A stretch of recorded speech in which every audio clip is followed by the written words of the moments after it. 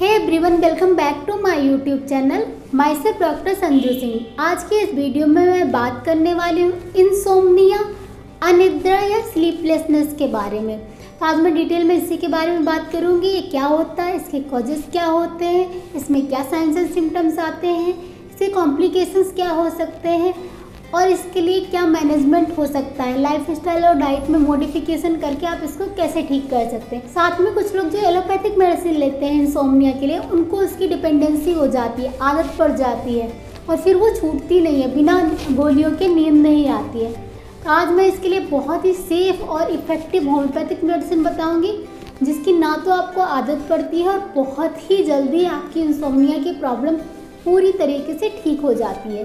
तो वीडियो को लास्ट तक ज़रूर देखिएगा। चलिए वीडियो को स्टार्ट करते हैं। फ्रेंड्स, वीडियो में आगे बढ़े, उससे पहले अगर आप मेरे चैनल पर नए हैं, पहली बार मेरा वीडियो देख रहे हैं तो मेरे चैनल को सब्सक्राइब करके बेल आइकन ज़रूर प्रेस कर लीजिएगा, जिससे जब भी मैं कोई नई वीडियो अपलोड करूँगी, आपको तुरंत नोटिफिकेशन मिल जाएगी। अब बात करते हैं इंसोमनिया के बारे में। इंसोमनिया की प्रॉब्लम यानी नींद आने की प्रॉब्लम वहाँ होती है जहाँ पे आप बेड पर लेट गए और आपको नींद बिल्कुल नहीं आ रही है। नींद आपकी आ गई और बीच में टूट जा रही है, उसके बाद दोबारा आप सो नहीं पा रहे हैं। सो के उठते हैं तो आप रिफ्रेश फील नहीं करते। ये कंडीशन आपको एक महीने से ज़्यादा हो और साथ में ये हफ़्ते में तीन से चार बार हो रहा हो। तो इसको क्रोनिक इंसोमनिया कहते हैं। और अगर ये प्रॉब्लम आपको कभी कभार हो रहा है, जैसे घर में कोई प्रॉब्लम हो गई कोई स्ट्रेस हो गया या फिर आपका ब्रेकअप हो गया या आपका एग्ज़ाम आ रहा है या फिर किसी से लड़ाई झगड़ा हो गया, इसके बाद आपको नींद नहीं आ रही तो इसको एक्यूट इंसोमनिया कहते हैं। ये वन मंथ से कम टाइम का होता है, कभी कभार होता है और जनरली जैसे जो कॉज है आपका, वो ख़त्म हो जाता है तो आपकी नींद वापस से सही आने लग जाती है। जबकि क्रॉनिक इंसोमनिया में ऐसा नहीं होता है, वो धीरे धीरे प्रोग्रेस करता है और आपको बहुत ज़्यादा उससे प्रॉब्लम आने लगती है। आपकी पर्सनल और प्रोफेशनल लाइफ उससे अफेक्टेड होने लगती है। जनरली अगर हम नींद की बात करें, कितनी नींद की हमें ज़रूरत होती है तो वो डिपेंड करता है कि हमारी एज क्या है।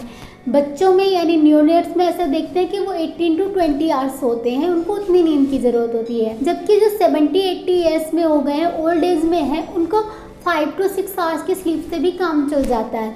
जो एडल्ट हैं, उनको सेवन टू एट आवर्स की स्लीप चाहिए होती है। इन जनरल इतनी ही नींद की ज़रूरत होती है। लेकिन ये सबके लिए डिफरेंट होता है। कुछ लोग होते हैं जो फाइव टू सिक्स आवर्स सोकर भी बहुत रिफ्रेश फील करते हैं एनर्जेटिक फील करते हैं।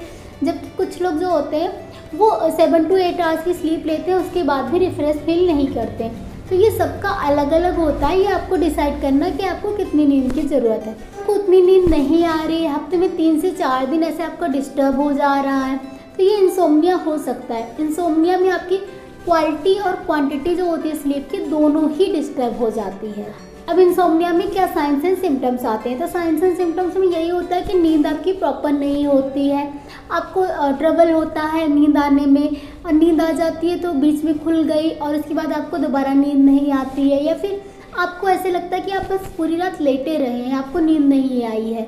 ऐसे तरह के सिम्टम्स आते हैं। साथ में जब सुबह सो के उठते हैं तो अनरिफ्रेश फील करते हैं। पूरे दिन दिन में नींद आती रहेगी, एकदम से फैटिक लगा रहेगा। साथ में क्या होता है, अगर यही लॉन्ग टाइम में चलता रहे यही प्रॉब्लम तो आपको इरिटेबिलिटी डेवलप हो जाएगी एनजाइटी डेवलप हो जाएगी।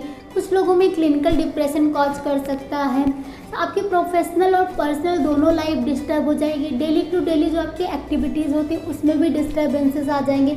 जैसे कि आप समझ लीजिए ड्राइव कर रहे हैं और आपको नींद आ गई तो फिर उसकी वजह से बहुत ज़्यादा प्रॉब्लम हो सकती है। तो इस तरह से आप काम में मन नहीं लगेगा कंसंट्रेशन नहीं हो पाएगा। अब अगर हम इसकी कॉजेज़ की बात करें तो यह नॉन कॉज से भी हो सकता है और कई बार कुछ नॉन कॉजेज़ होते हैं, जैसे कि आपको कोई पल्मोनरी डिसऑर्डर हो गए मतलब लंग से रिलेटेड कोई प्रॉब्लम हो गया, या आपको गैस्ट्रोइसोफेजियल रिफ्लेक्स हो गया गैस्ट्रिक कोई प्रॉब्लम हो गई, इन केसेस में आपकी स्लीप डिस्टर्ब हो सकती है। साथ में अगर आपको कोई फ़िज़िकल पेन है, किसी भी डिज़ीज़ की वजह से आपको बहुत ज़्यादा फ़िज़िकल पेन है तो इसमें भी आपकी जो स्लीप होती है, नींद होती है वो डिस्टर्ब हो जाती है। साथ में कोई साइकेट्रिक इलनेस है, अगर आपको कोई पैनिक डिसऑर्डर है, कोई एनजाइटी डिसऑर्डर है, या फिर आपको डिप्रेशन है तो इस केस में भी आपकी नींद डिस्टर्ब रहती है। कई बार बहुत ज़्यादा अगर लॉन्ग कंटिन्यू स्ट्रेस आपकी लाइफ में रहता है तो उसकी वजह से आपकी नींद डिस्टर्ब रहती है। जैसे कि अगर आपकी कोई ब्रेकअप हुआ है, आपका आपका कोई एग्ज़ामिनेशन आने वाला है स्टूडेंट्स का स्पेशली होता है कि उनके एग्ज़ाम आने वाले होते हैं तो उनकी बिल्कुल स्लीप साइकिल डिस्टर्ब हो जाती है, वो सो नहीं पाते हैं। या फिर आपकी फैमिली में अच्छा इन्वायरमेंट नहीं है, बहुत स्ट्रेस का इन्वायरमेंट है, आपकी जॉब जो है वो बहुत ज़्यादा स्ट्रेसफुल है। या फिर आपके जॉब का जो टाइम है वो एकदम फिक्स नहीं है, कभी आपकी नाइट ड्यूटी होती है कभी डे ड्यूटी होती है तो इसमें आपका नींद जो है बहुत ज़्यादा डिस्टर्ब रहता है। या फिर आपका वर्क प्लेस ऐसा है कि आपको बहुत ज़्यादा ट्रैवल करना पड़ता है तो जेट लैग वगैरह हो सकते हैं, उससे आपकी नींद डिस्टर्ब हो सकती है। मेल्स में स्पेशली अगर आपका न्यू बॉर्न बेबी है तो आपकी नींद डिस्टर्ब हो सकती है। तो ये सारे कुछ कॉजेज़ होते हैं, जिनकी वजह से आपको इंसोमनिया डेवलप हो सकता है। अगर ये आपको एक महीने से ज़्यादा रह रहा है वीक में आपकी तीन चार दिन बिल्कुल नींद नहीं आती है तो आपको डॉक्टर से कंसल्ट करना चाहिए। अब इसके मैनेजमेंट की अगर हम बात करें तो इसके लिए सबसे इंपॉर्टेंट होता है गुड स्लीप हाइजीन तो अपना जो स्लीप का पैटर्न है, वो आप एक फिक्स रखिए। मतलब एक ही टाइम पे आपने सोना है, एक टाइम पे उठना है।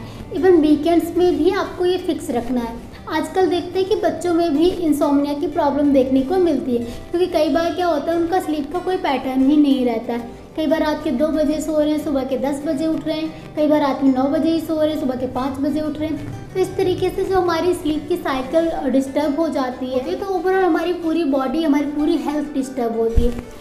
स्लीप हमारी मेंटल और फ़िज़िकल दोनों हेल्थ के लिए बहुत इंपॉर्टेंट होता है। बेसिकली स्लीप में क्या होता है, हमारी बॉडी रिपेयर करती है खुद को।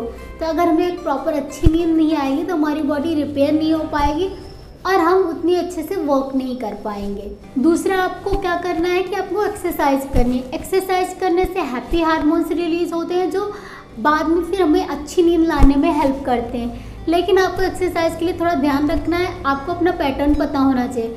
कुछ लोग एक्सरसाइज के बाद और ज़्यादा इनर्जेटिक हो जाते हैं। ऐसे लोगों को इवनिंग में एक्सरसाइज नहीं करनी चाहिए, इससे आपकी नींद डिस्टर्ब होगी।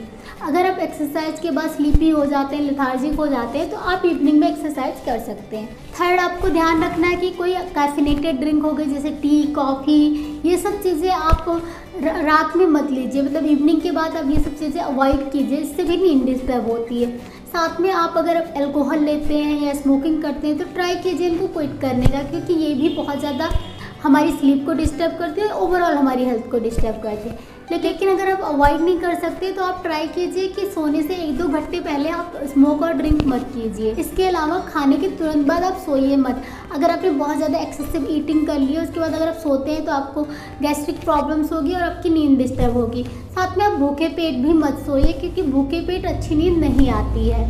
इसके अलावा आपने ध्यान रखना है कि आप बेड जो है, वो नींद के लिए ही यूज़ कीजिए। ऐसा होता है कि कई बार हम बेड पर लेटे लेटे मोबाइल चला रहे हैं, उसके बाद टेलीविज़न देख रहे हैं, कुछ काम कर रहे हैं लैपटॉप पर। इनकी जो ब्लू रेज होती है, वो बहुत अफेक्ट करती है हमारे ब्रेन को और इसकी वजह से हमें अच्छी नींद नहीं आ पाती है।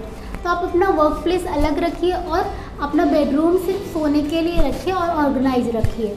इसके अलावा आपकी डाइट भी बहुत हेल्पफुल होती है, आपको अच्छी नींद लाने में। बहुत से लोगों को मिल्क से बहुत अच्छी नींद आ जाती है। अगर आप सोने से आधे घंटे पहले एक कप मिल्क लेते हैं, साथ में आप तीन से चार काजू ले सकते हैं बहुत हेल्पफुल होता है। अच्छी पीसफुल नींद के लिए। साथ में कुछ विटामिन और मिनरल्स बहुत इंपॉर्टेंट होते हैं हमारी अच्छी स्लीप के लिए, अच्छी नींद के लिए। जैसे कि विटामिन बी सिक्स हो गया कैल्शियम हो गया मैग्नीशियम हो गया, ये बहुत इंपॉर्टेंट होते हैं। इसके लिए आप ओट्स ले सकते हैं बनाना ले सकते हैं ग्रीन लीफी वेजिटेबल्स ले सकते हैं। ये सब चीज़ें अपनी डाइट में इंक्लूड कीजिए। ये सब कुछ हो गया जो आप डाइटरी और लाइफस्टाइल मॉडिफिकेशन कर सकते हैं, जिससे आपकी नींद जो है अच्छी हो जाएगी। साथ में आप कुछ योगा करिए मेडिटेशन कीजिए, जो आपका लॉन्ग टर्म का स्ट्रेस चलता आ रहा है, उसको मैनेज करने में हेल्प करेगा, आपके माइंड को काम डाउन करेगा। अब बात करती हूँ होम्योपैथिक मेडिसिन की, जिनके ना कोई साइड इफ़ेक्ट होते हैं, जो बहुत इफ़ेक्टिव होती है स्लीपलेसनेस के केसेस में इंसोमनिया के केसेस में। और अगर आपको ये लॉन्ग टर्म से प्रॉब्लम है तो किसी होम्योपैथिक फिजिशियन को दिखाकर ही आप मेडिसिन लीजिए। इसके अलावा अगर आपको थोड़ी टाइम से प्रॉब्लम है तो जिस मेडिसिन से आपके सिम्टम मैच करे, उसको आप लेकर देखिए, आपको बहुत ही अच्छे रिज़ल्ट मिलेंगे। हमारी सबसे पहली मेडिसिन है kali phos six X potency में। कालीफॉस बहुत इफ़ेक्टिव मेडिसिन होती है, जहाँ पे आपको बहुत ज़्यादा वरी है, बहुत ज़्यादा टेंशन है स्ट्रेस है, जिसकी वजह से आपकी नींद डिस्टर्ब है। पूरे दिन आपको यॉर्निंग होती रहती है, आप जमाई लेते रहते हो, आपको बहुत ज़्यादा मेंटल और फ़िज़िकल एग्जॉशन रहता है बहुत थकावट रहती है, नींद बिल्कुल अच्छे से नहीं आती।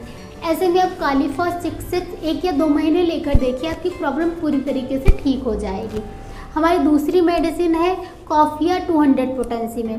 कॉफ़िया भी बहुत इफ़ेक्टिव मेडिसिन होती है, जहाँ पे आपको बहुत ज़्यादा थॉट्स आते रहते हैं। कंटिन्यूसली आपको कोई थॉट्स आ रहे हैं आइडियाज़ आ रहे हैं। बहुत ज़्यादा मेंटल एक्साइटमेंट रहता है, जिसकी वजह से आपको नींद नहीं आ पाती है। ऐसे केसेस में आप कॉफ़िया लेंगे, आपको बहुत ही बेस्ट रिज़ल्ट मिलेंगे।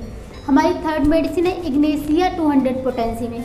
इग्नेसिया वहाँ पे बहुत अच्छा काम करती है, जहाँ पे आपको कोई ग्रीफ है, कोई डिप्रेशन है, आपको कोई बहुत ज़्यादा पास्ट में कोई प्रॉब्लम हुई है, कोई आपके लव्ड वन की डेथ हो गई, आपका ब्रेकअप हो गया, या फिर ऐसी कोई प्रॉब्लम हुई है फैमिली में जॉब में, इसकी वजह से आप बहुत इंडिफरेंट हो गए हैं, बहुत ज़्यादा बीपिंग मूड रहता है, आप किसी से बात नहीं करना चाहते हैं, आपको बहुत डिप्रेशन सा फील होता है, साथ में आपकी नींद भी डिस्टर्ब है। ऐसे केसेस में इग्नेसिया बेस्ट काम करती है।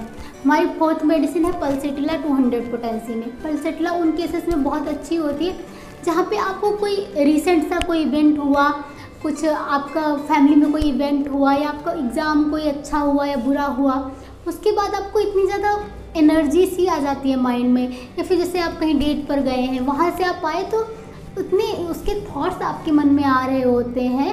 कि आपको नींद ही नहीं आती। आल्दो आपका टाइम हो गया सोने का मतलब ऐसा फील होता है कि कहीं आँखों में नींद है, लेकिन वो थॉट्स इतने ज़्यादा आपको आ रहे होते हैं, फिर कहीं आपके कुछ भी एक्साइटिंग हो गया, कुछ डिप्रेसिंग हो गया, वो एक तरीके के थॉट्स आपके दिमाग में हमेशा आते रहते आते रहते आपको नींद बिल्कुल नहीं आती है। एनजाइटी सी फील होने लग जाती है। ऐसे केस में पल्सिटला बेस्ट मेडिसिन होती है। हमारी फिफ्थ मेडिसिन है ओपीएम 200 पोटेंसी में। ओपीएम बहुत इफ़ेक्टिव होती है, जहाँ पे आप स्लीपी हैं बट आपको नींद बिल्कुल नहीं आ रही। ऐसा लग रहा है कि बिल्कुल नींद आनी ही चाहिए, एकदम आप सोए जा रहे हैं, लेकिन माइंड आपका काम डाउन हो ही नहीं रहा। साथ में आपको एक्यूटनेस ऑफ़ हियरिंग हो जाती है।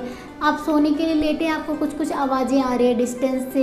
ऐसे कुछ होता रहता है। तो ऐसे केस में आप ओपीएम लीजिए, आपको बेस्ट रिज़ल्ट मिलेंगे। इसके पास बहुत ही इफ़ेक्टिव होम्योपैथिक मेडिसिन मैंने आपको बताया। इसके अलावा भी बहुत सारी मेडिसिन है जो आपके सिम्टम के बेस पे दिया जाता है। आपको क्या कॉज है उस हिसाब से दिया जाता है और ये आपके कॉज पर काम करता है, आपके रूट पर काम करता है और उसको पूरी तरीके से ख़त्म कर देता है। हो सकता है इसमें आपको टाइम लगे, अगर आपको क्रॉनिक प्रॉब्लम है बट ये पूरी तरीके से ठीक हो जाएगा। स्पेशली अगर आप कोई एलोपैथिक मेडिसिन ले रहे हैं, आपको उसकी डिपेंडेंसी है तो ये और ज़्यादा टाइम ले सकता है। लेकिन आप वो एलोपैथिक मेडिसिन अच्छे से छोड़ पाएँगे और आपकी प्रॉब्लम जो है पूरी तरीके से ठीक हो पाएगी। अगर आप टाइम दें किसी रजिस्टर्ड होम्योपैथिस का ट्रीटमेंट लेंगे। फ्रेंड्स इंसोमिया पर मेरी ये जानकारी आपको कैसी लगी कमेंट करके ज़रूर बताइएगा। वीडियो अच्छा लगा हो तो वीडियो को लाइक कर दीजिए। मुझे आपके सपोर्ट की बहुत नीड रहती है तो चैनल को सब्सक्राइब कर दीजिए।